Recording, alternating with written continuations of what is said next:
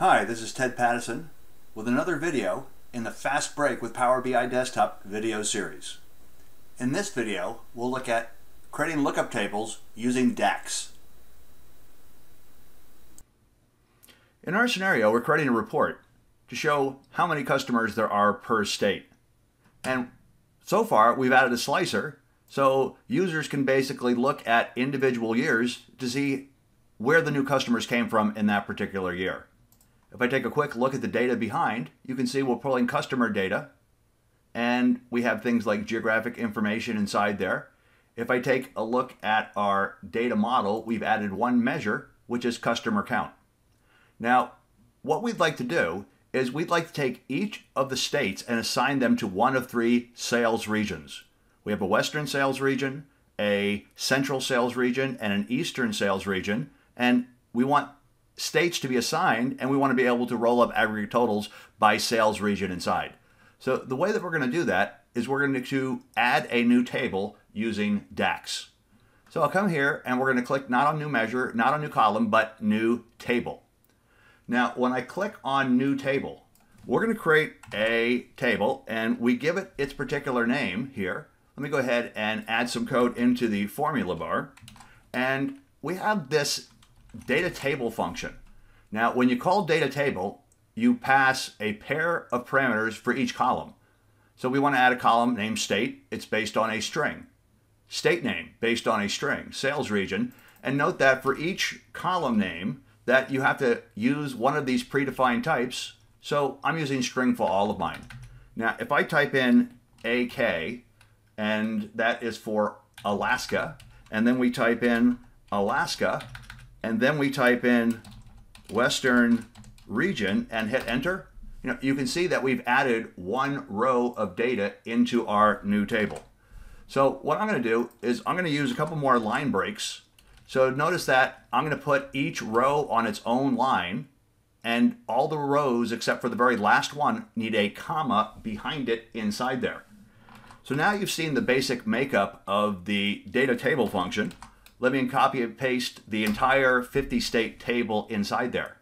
So let's go ahead and look at relationship view. So now we've added this new sales region table into our data model. And there is a one-to-many relationship for each state. There are many different customers that come from that state. So to create the relationship, I'm going to grab state from customers on the many side and drag it onto the unique state field, and that creates the one-to-many relationship inside there. Let's go back to report view. And notice that I could pull sales region and state name from the sales regions table.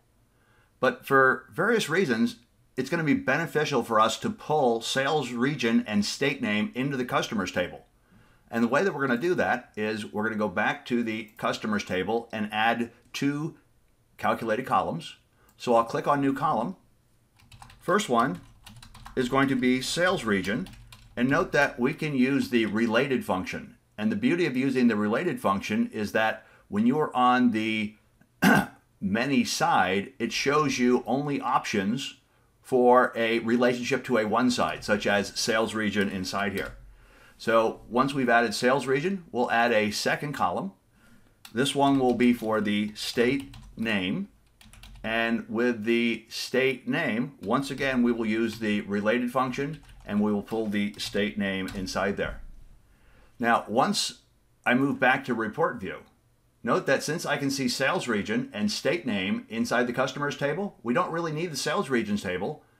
So we still have it in our data model, but we can hide it so we don't have to look at it in report view. Now, one benefit of pulling everything back into a single table is that you might have a hierarchy. For instance, if I take sales region and I want to make that the top of a hierarchy, I can now take state name. And with state name, first of all, just like state, let's go ahead and categorize that so that it is a state or province. Notice that state name now gets a little globe underneath it. I'm going to take state name, I'm going to drag it on top of sales region inside there.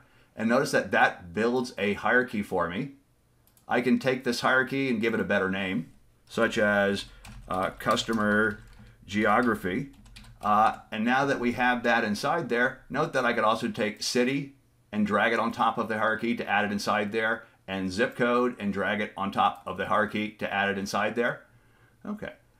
Now, I'm not going to use the hierarchy in this demo, but the two things I want to show is that if we now go back to this particular map where we were showing just the abbreviated state and we get rid of state and replace it with state name, okay, well that helps. And then second, let's go ahead and add a new slicer. So I'm going to add a new slicer. And so I'll take this slicer and we'll move it over here. And with this particular slicer, uh, we're going to change it from looking at the year to now looking at the sales region. Now I'm going to have to make this a little bit wider to make it work. But now what we're able to do is click on sales region and I can see the eastern region, I can see the western region, and I can see the central region. Now here's the problem. The one last problem is I don't like the order of the way that the sales regions are listed. So from a company history, we started on the west, and then we moved into the central region, then the eastern. So I want to always show western region first. So how are we going to accomplish that? Well, I think one idea would be let's create a lookup table with DAX. Now I'm going to go back to data view. I'm going to click on new table one more time. So now we're going to create a second table and this table will simply be a lookup table with sort codes inside there. So as I create this, let me hit the enter key. You can see for each particular sales region, we've assigned a sort order of one, two, or three. Okay, now that we've done that, let's go back to the model one more time.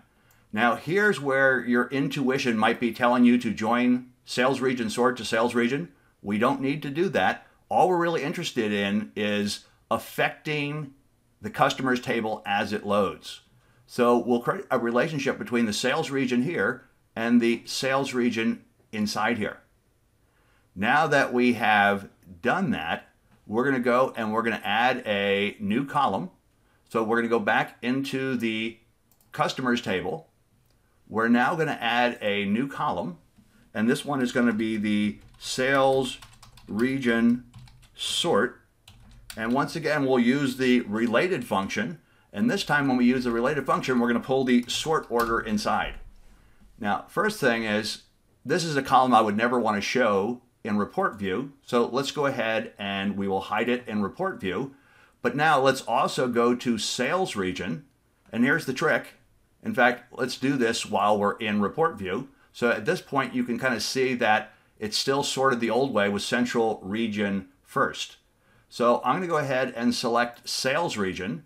And when I select sales region, now I can go to the sort by column and we're going to go ahead and pick sales region sort. And now that we've done that, now we have the sort order that we want with Western region first, and then Central region, and then Eastern region. And how do we do that?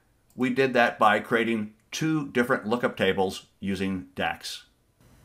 Once again, this is Ted Pattison. I'd like to thank you for watching and leave you with a call to action. If you want to join a great, passionate group of smart people, come join us at pbiug.com, the Power BI user group. If you're looking for hands-on training, come visit us at criticalpathtraining.com, home of Power BI Bootcamp and Power BI Developer Bootcamp.